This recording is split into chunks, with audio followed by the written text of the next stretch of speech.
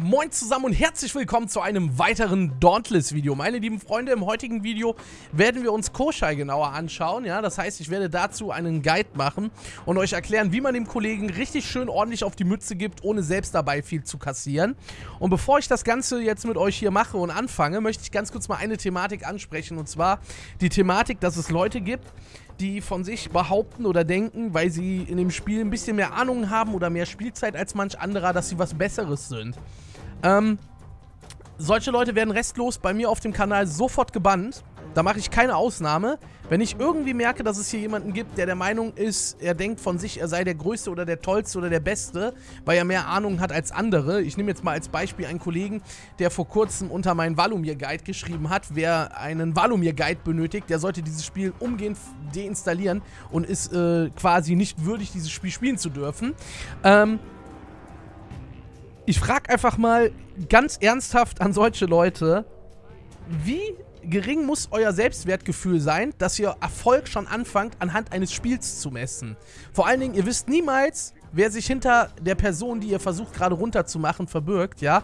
Und es ist eine sehr peinliche Angelegenheit oder Situation, wenn ihr noch in die Schule geht und da jemand ist, der erwachsen ist, ausgelernt, vielleicht sogar irgendwie, keine Ahnung, der Tätigkeit als Arzt hinterhergeht und in seinem echten Leben einiges gerissen habt und ihr so jemanden ankommt und versucht, euren Erfolg im Spiel mit ihm zu messen, ne? Das ist halt so eine typisch kindische Situation, deswegen, also Dauntless ist kein Wettbewerb, es heißt One Dauntless, alle zusammen, ja? Auch wenn jetzt bald ein Ranked-Modus kommt, da kann man sich messen, aber das ist ja auch egal, da muss man trotzdem dann sportlich bleiben, man muss ja nicht denken, nur weil man etwas besser kann als jemand anderes, dass man was Besseres ist, ne? Und das akzeptiere ich definitiv nicht in meiner Community. Und deswegen auch nochmal von mir die klare Aussage, wenn ihr so einen Kommentar schreibt, geht davon aus, dass ihr direkt vom Kanal perma gebannt werdet dass man nichts mehr von euch sieht. Ihr könnt meine Videos weiterhin schauen, aber ihr werdet nicht mehr beachtet werden können von den Leuten, weil keiner eure Kommentare mehr sieht. Ja? Also so viel dazu. Okay, an alle anderen Anfänger, ne? bleibt standhaft, lasst euch nicht unterkriegen. Jeder von euch kann ein guter Spieler werden. Wie das Ganze funktioniert, versuche ich euch immer wieder mit meinen Guides zu vermitteln. Und ich muss einmal in die Hände klatschen für die Leute, die immer wieder Hilfestellungen in den Kommentaren anbieten. Das heißt also, wenn jemand irgendwie Fragen hat oder so, da gibt es ganz viele, die immer wieder schreiben so, yo, add mich mal in-game, ich helfe dir. Ja, selbst wenn es irgendwie um Probleme bei einem Behemoth geht. Also Props an solche Leute. So, und wir werden uns jetzt mit Koschei befassen, liebe Freunde. Das wird nämlich auch auf jeden Fall ein Kandidat sein, bei dem der ein oder andere von euch, ja, ein bisschen Probleme kriegen wird. Denn der Kollege ist auf jeden Fall, ja, äh, ich sag mal so, der hat ziemlich viele Angriffe, die einen sehr, sehr gut treffen können und eine sehr, sehr große Hitbox haben. Und wie ihr euch dagegen wehren könnt, das zeige ich euch jetzt. Wir werden heute mit dem Hammer spielen, denn ich persönlich finde, Koshai ist mit dem Hammer angenehmer zu spielen. Was auch gut funktioniert ist, jetzt kein Witz, die Warpike. Denn der liebe Koshai, der macht nämlich gerne mal so, ähm, den hier, ja, er macht nämlich mal so gerne so einen Sprung und kommt dann so von oben auf euch herab. Und wenn ihr schnell genug seid, könnt ihr mit der Warpike den in der Luft eingeben und dann seht ihr einfach nur, wie er so mit dem Kopf in den Boden reingeht und dann habt ihr Zeit anzugreifen, ja. Ich mache ihn jetzt aber mit dem Hammer und ähm, wenn wir mit dem Hammer spielen, generell mit jeder Waffe, gibt es auf jeden Fall von mir schon mal Tipp Nummer 1. Wenn ihr nicht gerade etwas aus dem Schwanz von Koschei benötigt und YouTube, ich hoffe, dass dieses Video nicht wieder entmonetarisiert wird, ja? Ich möchte nochmal darauf hinweisen, wir reden hier von dem Schwanz eines Behemoths, ja? Und von nichts anderem, liebes YouTube-Team. Bitte. Ähm, dann geht ihr auch nicht von hinten auf ihn drauf.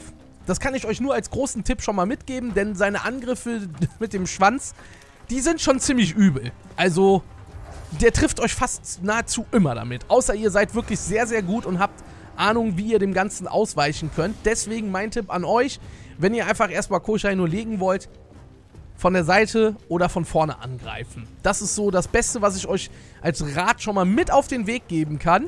Ansonsten habt ihr noch die Chance, ihn zu interrupten. Wie gesagt, wenn er im Flug ist, das geht am besten mit der Warpike. Oder wenn der auf seinen komischen Bohnenstängel da geht, ja. Da könnt ihr ihn auch interrupten. So, jetzt öffnen wir erstmal den Kampf. Schön mit einem Sprung. Jetzt läuft er nach vorne. Ja, da hätte ich jetzt keinen Sprung einsetzen dürfen. Da war ich ein bisschen zu voreilig. Und da kommt auch schon der Schwanzschlag. Und guckt euch das mal an.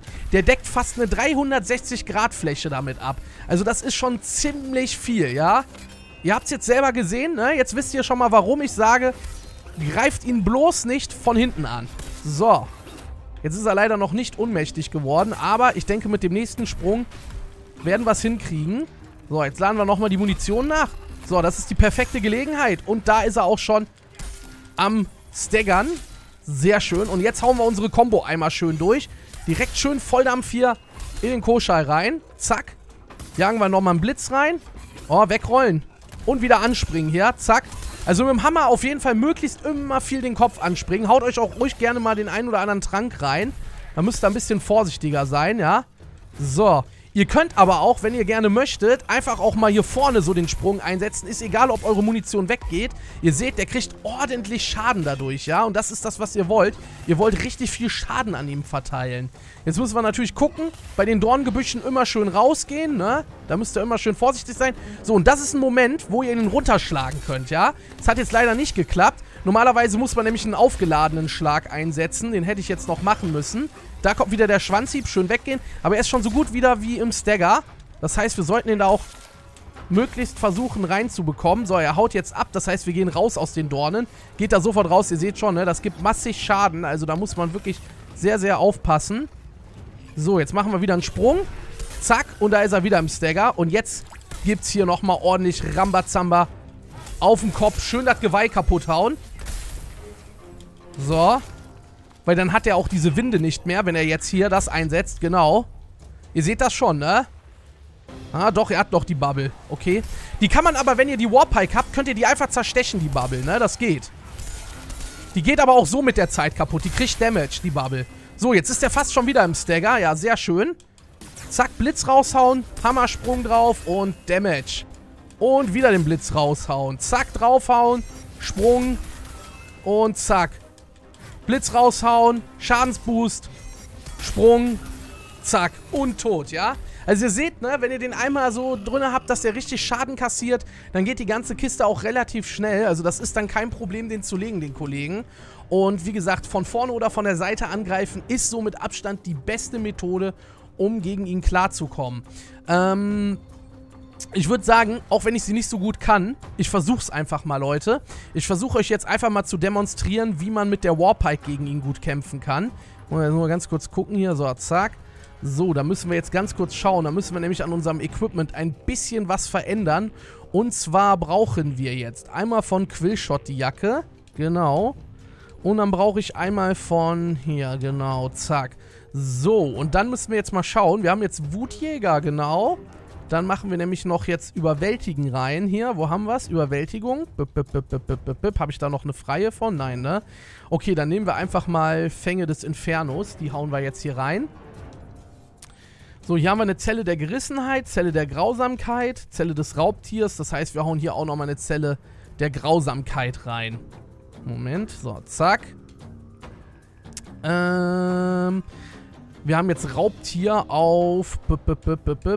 Nee, Grausamkeit haben wir jetzt auf plus 9. Da brauchen wir gar nicht. Nee, da können wir eine Zelle der Gerissenheit noch mit reinhauen hier wieder. So, zack. Dann haben wir nämlich Gerissenheit auf 6, Grausamkeit auf äh, 6.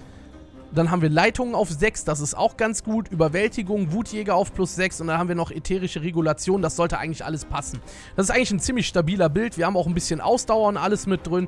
Dann melden wir uns jetzt direkt nochmal für Koshai an. Der wird jetzt natürlich mit der Warpike ein kleinen Ticken länger dauern, Leute, ja, weil damit ist es halt einfach Fakt, dass es was länger dauert, ist aber nicht schlimm.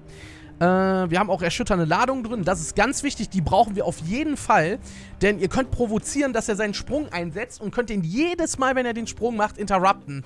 Und so ist das echt ein relativ simples Spiel gegen ihn. Das Einzige, was nicht funktioniert, ich weiß es nicht, ob es an der Hitbox liegt oder ob das wirklich mit Absicht so ist. Ich kriege den nicht, wenn er auf seiner Bodenstange ist, runtergeschossen. Das bekomme ich einfach nicht hin. Ich stand schon vor dem, hab dem, hab dem da einen Schuss reingedrückt. Ich gehe mal davon aus irgendwie, dass die Warpike das nicht schafft oder dass die Hitbox sehr, sehr komisch ist. Aber es hat nicht funktioniert. Ah, okay, der ist auch direkt in der Nähe von unserem Spawn. Das heißt also, wir haben einen relativ schnellen Run sogar. So. Bip, bip, bip. Kann euch nämlich jetzt auch demonstrieren, wie ihr mit der Warpike den ziemlich gut interrupten könnt die ganze Zeit. Dann habt ihr jetzt zwei, ähm, sag ich mal, zwei Waffen gesehen, wie man ihn spielen kann. Und dann sollte das auch kein Problem mehr für euch darstellen, da demnächst gegen Koschheit zu kämpfen. So. Erstmal hier die Sachen einsammeln. Zack, zack. So. Dann machen wir das Jump'n'Run hier kurz. Der müsste auch schon direkt da oben sein. Da ist er auch schon, ne? So. Dann schon mal die Warpike rausholen hier. Denkt dran, am Anfang setzt er immer seinen Sprung, äh, Schuss ein mit dem Schwanz da. Deswegen direkt weggehen. Und wegrollen. Jetzt laden wir die Munition schon mal auf. Denkt dran, ne? Schwanz ist immer so eine Sache. Vorsichtig sein. Ich gehe jetzt mal was weiter weg. Ah, jetzt setzt er den Schuss ein. Das kann jetzt sein, dass der gleich angesprungen kommt. Da. Und zack, in der Luft abschießen, seht ihr? Und dann, plopp, liegt er direkt auf dem Boden und ihr habt die Chance hier richtig schön Vollgas zu geben. Und da geht er auch gleich schon fast in den Stagger. Seht ihr?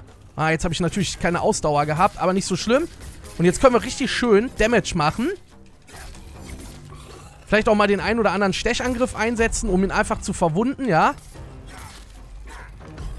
So, jetzt gehen wir ein bisschen weiter zurück hier. Ich hau mir mal eine Heilung rein. So, und direkt wieder. Zack, liegt er auf dem Boden. So, jetzt können wir hier schön gucken, dass wir drauf einhacken, ne? Damit wir hier ein paar Verwundungen hinzufügen. Die Munition direkt aufladen. Und die Wunde angreifen. Da kommt nämlich der ordentliche Schaden durch. Da seht ihr auch schon, der brennt auch schon richtig, ne? So, da macht er seine eigenen Dornen kaputt, der Trottel. So, jetzt gehen wir wieder ein bisschen weiter weg. Es kann sein, dass er jetzt... Ah, kommt er wieder angesprungen, zack. Ne? Seht ihr, ihr könnt das so ein bisschen provozieren. Immer wenn ihr weiter weg geht, schon direkt anlegen. Und wenn der nicht springt, dann könnt ihr ja noch immer rollen. Ne? Das ist der Vorteil bei der Warpike. Ihr habt ja immer die Chance, noch zu rollen. So, jetzt haben wir ihn wieder im Stagger. Direkt die Munition aufladen. So, hier können wir noch verwunden. Das machen wir jetzt auch direkt. Und wegrollen hier. Er greift nämlich schon an hier. So, dann gehen wir ein Stück zurück. Okay, der haut jetzt erstmal ab in den Untergrund. Ähm, hier könnt ihr einfach wieder die Taste drücken, womit ihr das Behemoth immer sucht, ja, wo ihr direkt das anvisiert. Dann seht ihr nämlich, wo der auch rauskommt. So, dann gehen wir jetzt wieder ein Stück zurück. Ja, er geht schon wieder in den Untergrund. So, jetzt wieder die Taste die ganze Zeit drücken. Und irgendwann, ah, da hinten kommt er raus. Und zack, in der Luft anschießen, ja, siehst du? Ja, ganz einfach, ne? Ganz einfache Kiste mit dem Kollegen. Da hat er keine Chance. Das ist für den auf jeden Fall äußerst unangenehm wieder hier kassiert. So, und wieder nachladen. Das kann jetzt sein, dass er abhaut. Deswegen wieder die Taste drücken. Ja, der ist auch abgehauen. Wahrscheinlich nach da hinten. Dann machen wir uns jetzt auf den Weg dahin. Also ihr seht, mit der Warpike ist es sogar noch einen Ticken angenehmer als mit dem Hammer, ja. Man muss doch nicht mal der überkranke Warpike-Spieler sein, um das zu schaffen. Also wie gesagt, es ist richtig, richtig simpel. Einfach ein bisschen Übungssache und dann kriegt ihr das genauso hin. Und dann macht ihr euch das Leben deutlich einfacher damit. So, da haben wir ihn auch schon. Jetzt schießt er wahrscheinlich gleich wieder seine Stacheln, also vorsichtig. Ah, zack. Hat er schon angelegt, ne, der Kollege. Na, jetzt kommt der Clown-Angriff. Direkt wegrollen am besten. Und wieder wegrollen. Und draufschlagen. Und wegrollen. Ah, jetzt bin ich aus Versehen zur Seite gerollt. Da kommt der Schwanzangriff, ne? Seht ihr schon wieder?